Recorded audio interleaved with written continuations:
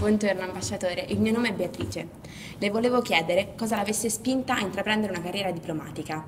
Beatrice, buongiorno. Sono stato spinto dalla passione suscitata in me dall'organizzazione internazionale, il diritto internazionale all'università, dal desiderio di conoscere il mondo e anche dall'amore per le lingue straniere. Inoltre vorrei chiederle quali aspetti della cultura tedesca l'hanno colpita in modo particolare.